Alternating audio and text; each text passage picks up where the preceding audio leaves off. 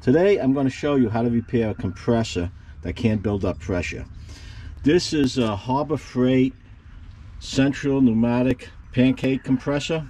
It's item number 95275. Numbers might be different on them, but they, they're all the same.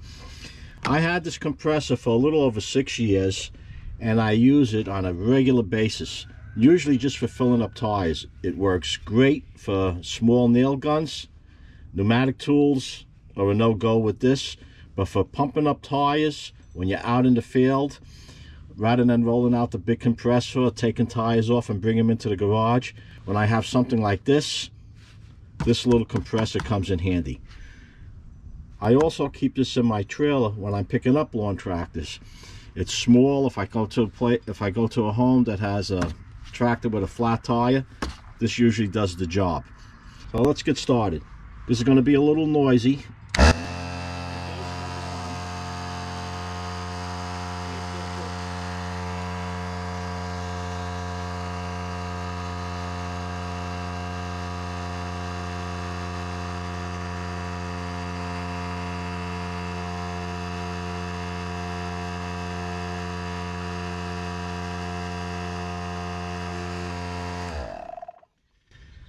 The most this will go up to is about 25, almost 30 pounds of pressure. It was working fine and then it just stopped. Now the obvious things before you get into it that you want to check, you want to make sure this relief valve isn't leaking. You want to make sure your connectors aren't leaking. And if you never drained it before, there's a drain in the back to let the moisture out. You want to make sure this isn't leaking. I did all that already. None of these are leaking. It just won't build up the pressure. So I'm going to unplug this. I'm to take out these, let's see, one, two, there's a screw, looks like four screws over here. One, two, three, four, and they're all Phillips. I'm going to take this off and show you what I find. If you do this at home, they give a warning right here. To prevent serious injury and explosion, do not remove this cover or adjust internal components.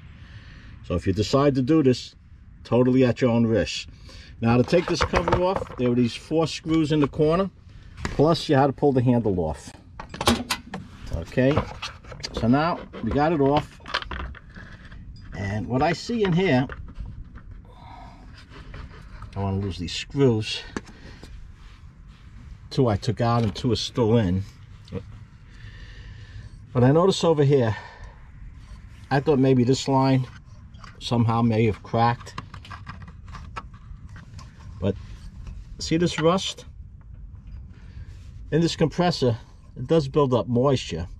I'm wondering why it's rusty over here. Why is it rusty right in here and nowhere else? I'm wondering if it's blowing past this. I'm going to put a wrench on here and see if I can snug this a little bit before I take it all apart. And that looks like the only other place it could be leaking in here. Maybe down in here, you have these joints. This thing is noisy, it vibrates a lot. And if it wasn't snugged at the factory, could have loosened up. Like I said, I had it a little over six years and it does get used. So I'm gonna snug this up. I'm gonna turn it on and see if the pressure builds up. Well, that was quick, I found the problem. It wasn't over here, it was down here. This pipe snapped at the joint. So I don't know what I could use to replace this with. This is aluminum. Let's see what kind of, if it's just a flare fitting on here. See how they have this together.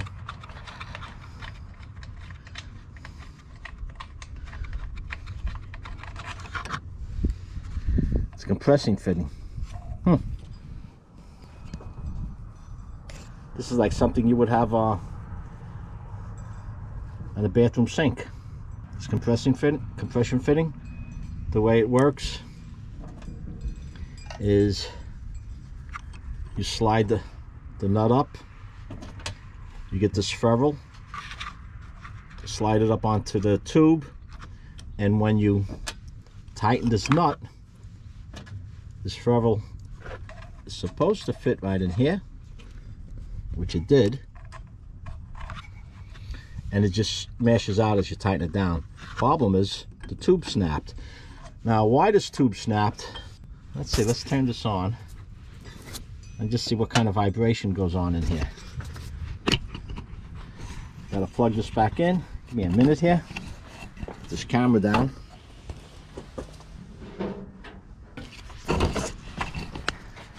I'm just turning this on to see if this vibrates that much where this, this should have snapped.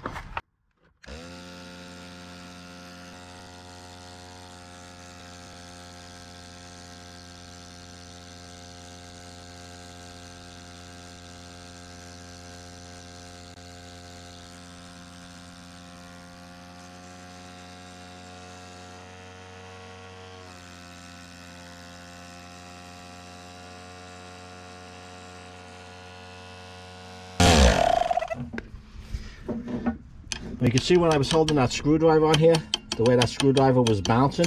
Not so much over the piston, but down over here. I'm going to see if I can find a ferrule that'll fit on this. So what I'm going to do, I believe I might have enough pipe here. I don't know if I could rig this down into that or not. But I'm going to see if I have uh, my plumbing supply. If I have one in there. If not, one of the uh, hardware stores should have it. I'll show you whether this works when I get that piece. Okay, I went to uh, Home Depot today and I was able to pick up these brass sleeves. This is in the uh, plumbing department and this is a inexpensive fix. Let's see, we have these sleeves were $1.85 for the three of them. Now I thought I had uh, sle extra sleeves laying around, but I didn't. Now this tubing over here if this tubing is cracked eh, or there's just not enough to reach from one point to the other, I believe you could use brake line for this. And if not, I checked at Home Depot. They have a roll, although you won't need a whole roll of a quarter inch, that'll that you can substitute for this. And that's like $8.95. It's a whole roll that you have to get. They don't have short pieces. Now let's get into this repair.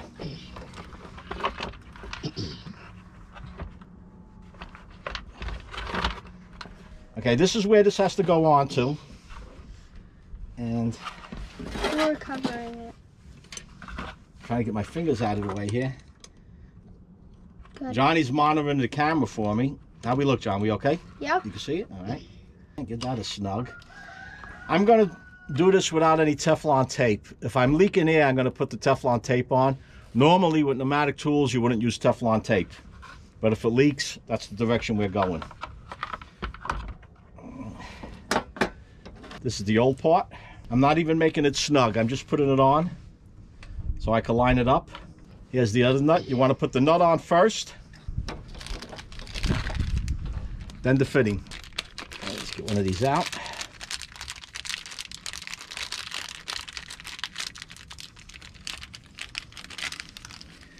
Now I may or may not have to change this on the other side. I don't know if it's going to snug down enough. Again, make sure you put that nut on first. This is soft aluminum, so I'm able to bend it to get it into the other port. Let me show you what I have here. This is the side that wasn't broken. And I just bent this out a little bit to get it into this other fitting down, down in here. Pushing that in. Oh, John, come here. Okay, Johnny's holding that camera for me. Okay, could you see this part down here? Yes. Okay. I have to be careful bending this. It bends easy, but it looks like it might snap easy also. Come over here. Okay, you want to get this in there as far as down as you can get it. Slide that down. Now, you can see this. Let me get this. Okay. These threads are fine threads. So this has to be perfectly lined, otherwise this won't screw on. And if you do get it on there, it'll probably leak if it's not on properly. Okay, now, a little better. I know my hands are in the way right now. All I'm doing is trying to get this pipe straight as possible into this there we go. Got that, John? Yep. Okay. I don't know if that's straight enough. Let's see. No, the nut's slightly cocked. I don't know if the camera could pick it up. It's just off, just that little bit. Just enough that counts. I'll try it again. Sure that's still there. this is just off just a little bit. And there goes that brass fitting. Okay, watch it. I got it, Grandpa. You can get it? Mm-hmm. Want me to go get a pencil to get it? Is this in there? Because if you lose one, we get this all together, we'll get, remind me to get that out of there, otherwise that'll rattle. This thing makes enough noise. mm-hmm. Let me see here. It's still not right. What we're dealing with is that this is a different length of what it was. Like I said, it bends easy. Also, another thing that might fit on here, I believe you could use brake line, car brake line. Would fit this. Okay, I got it now. Okay.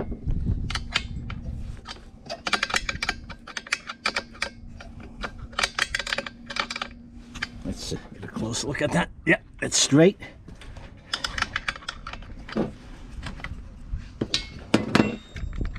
This is real easy to cross thread, so you gotta be careful.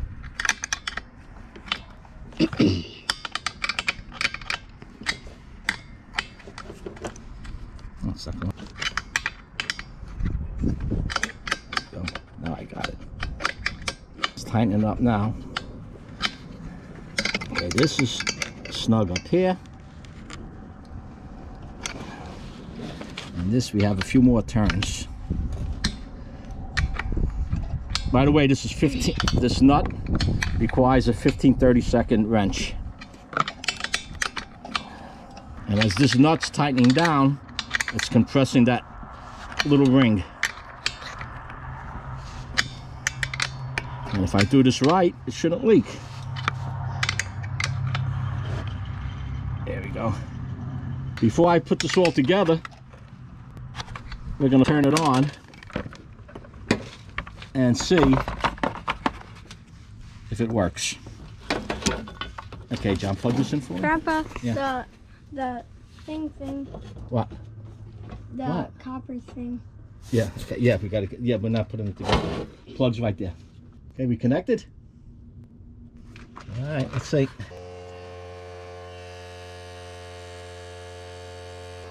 Now this gauge is reading almost 20 pounds of pressure, so this gauge happens to be off. It is starting to climb. I'm opening this up.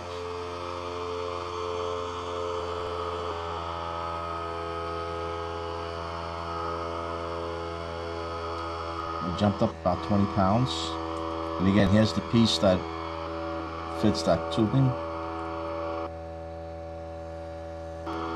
I'm jumping ahead a little on this video just so you don't have to wait 10 minutes to watch it fill.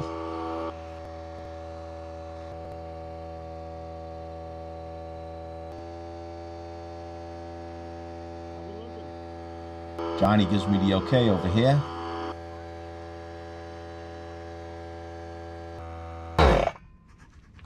Okay, well it works. Now this gauge went past a hundred pounds. It says hundred and it's reading 110.